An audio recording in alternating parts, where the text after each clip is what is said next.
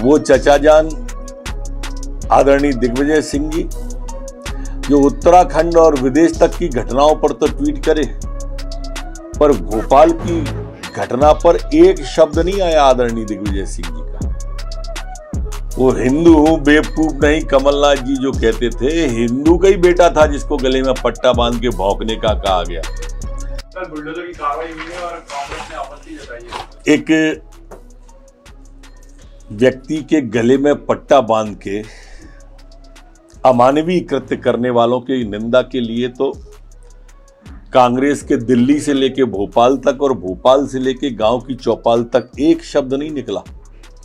वो चचा जान आदरणीय दिग्विजय सिंह जी, जो उत्तराखंड और विदेश तक की घटनाओं पर तो ट्वीट करे, पर भोपाल की घटना पर एक शब्द नहीं आया आदरणीय दिग्विजय सिंह जी का।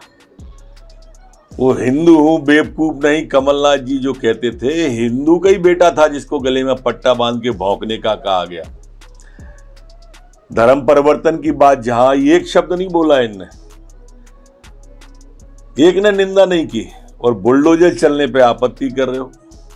सारा काम विधि सम्मत हुआ है। विधि के अनुसार सरकार काम कर रही है। आप तुष्टीकरण की राजनीति कर रहे हो। ये प्रदेश की जनता अच्छी तरह से समझ रही है, आप कांग्रेस की मानसिकता स्पष्ट हो रही है। एक और व्यक्ति गिरफ़्तार हुआ है उसमें।